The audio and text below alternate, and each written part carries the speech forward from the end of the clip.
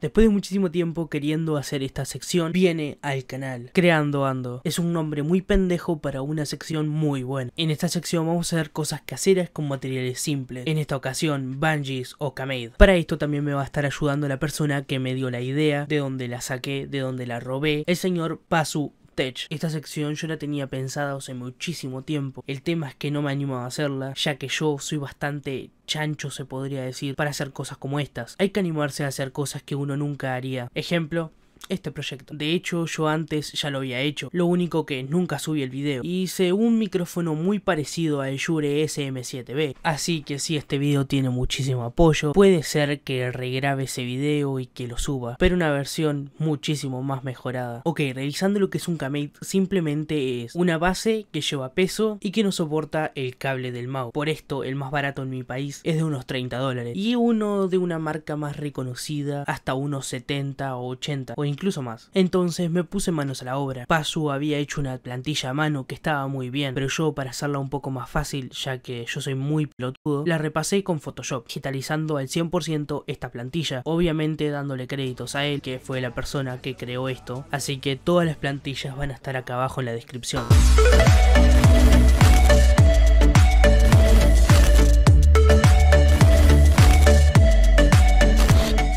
Ok, los materiales para hacer este Banshee son muy sencillos. Simplemente cartón, silicona, unos resortes que los podemos comprar en cualquier ferretería o lo que yo utilicé, que es un extensible para cortina, una solución más barata. Una vez ya impresa la plantilla que les dejé abajo en la descripción, con una lapicera marcar arriba del cartón todas las piezas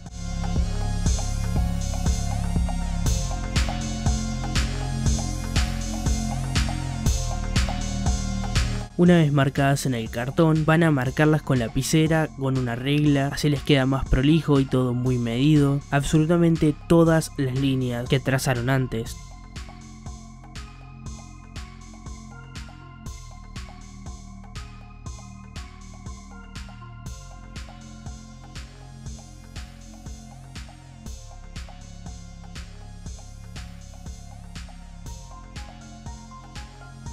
Después de recortar las figuras,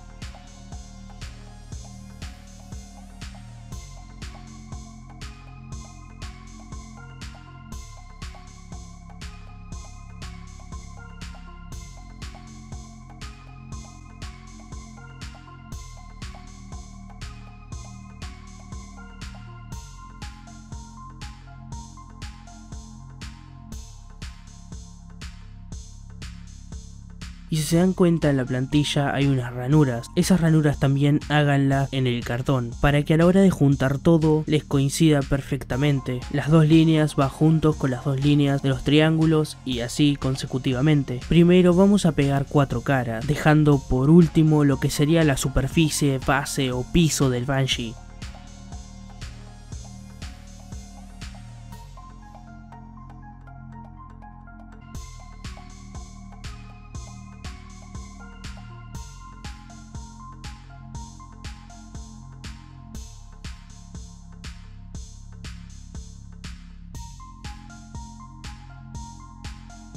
Ya que una vez que se seque la silicona vamos a ponerle el peso, pero antes de esto hay que pegar los resortes. En mi caso primero lo pegué con silicona fría, no me funcionó. Al ser mucha silicona me demoraba demasiado tiempo y decidí hacerlo con silicona caliente. Primero puse un poco de silicona en el cartón, pegué los muelles y arriba le eché un poco más. Ok, ahora lo que soportaría los cables. La mejor opción sería con palillito, como los de colgar ropa, pero versión diminutos. La otra opción, un poco más complicada, es usar porcelana. Otra opción también puede ser masilla bicomponente, que se seca más rápido que la porcelana y es una opción que se me acaba de ocurrir ahora mismo mientras estoy grabando. O la opción más barata y simple que es silicona. Con cualquiera de estos materiales vamos a tener que usar la misma forma, que es esta que está apareciendo en el dibujo. Este pequeño soporte es aguantado por los dos resortes y arriba tiene un huequito libre para meter el cable. La opción más recomendada para mí es la silicona, ya que es más barata y además todos tenemos silicona caliente.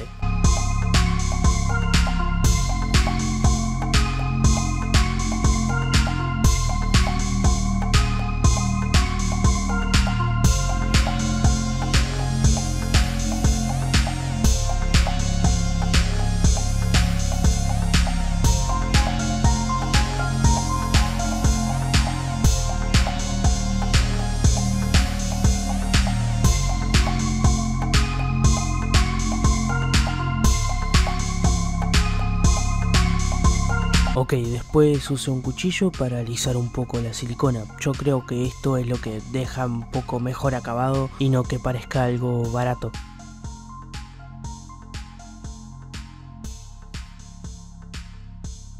Ok, los Banshees normalmente se suelen caracterizar por su peso, así que para hacer esto también tenemos tres opciones. La primera, piedras la segunda plastilina y tornillos y la tercera piedras y plastilina. Vamos con la más simple. Para esto vamos a tener que salir afuera, con una bolsita te dedicas a juntar piedras y vas a agarrar una bolsita. En esa bolsita vas a poner las piedras y hacer como un mini saquito. Esto para que las piedras no queden sueltas. No va a estar ese típico ruido de movimiento de piedra. Vamos con la segunda. Como digo, es plastilina y tornillo. La plastilina no es tan cara, aunque sí que es cierto que las piedras son gratis, las podemos ir a buscar a la calle. La plastilina me costó unos 40 pesos y los tornillos los tenía en casa, pero en caso que los fuera a comprar me valían unos 10 pesos o 15 pesos más. Con 50 pesos tenemos el peso de nuestro Banshee. Con esos 50 pesos vamos a tener para dos Banshees aproximadamente. Simplemente metemos plastilina, metemos tornillos para adentro.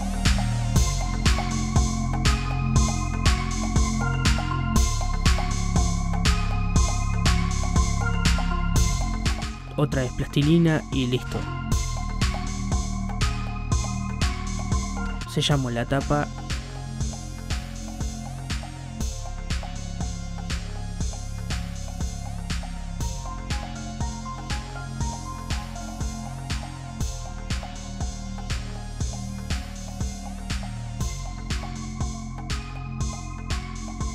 Y la tercera opción, a esta le llamo la opción híbrida. El que entendió el chiste, que lo deje en los comentarios. Básicamente vamos a usar piedras y plastilina. Otra vez vamos a hacer el saquito. ¿Para qué? Para no usar tanta plastilina. Simplemente ponemos un poco abajo el saquito y sellamos todo lo que sobra despacio con plastilina. Para no tener absolutamente nada de movimiento dentro del Banshee. Sé que es algo que suele quedarse quieto, pero sí que es verdad que cuando tenemos algo en la mano y sentimos un movimiento adentro, como que no nos suele ser tan premio. En cambio yo al agarrar el Banshee que tiene solamente plastilina y tornillos me da algo como premium al simplemente tener un peso y que sea algo sólido. Y como siempre estoy buscando la parte premium en algo económico, nada más premium que ese tacto de goma. Lo que más me gusta de mi mouse, el G502, es que tiene una parte donde reposas el dedo con una textura de goma. Esta textura es muy fácil de hacer, simplemente agarramos silicona, vaciamos un poco arriba del Banshee. Ok, ok, sé que esto suena un poco barato, no premium, pero créanme que la misma silicona se acomoda y deja un tacto de goma muy bueno y muy premium, como si fuera el costado de un mouse. Queda lisito y con una textura de goma muy muy buena. Así que si van a hacer este proyecto y pueden, háganlo. Dejamos secar unos minutos. Ok,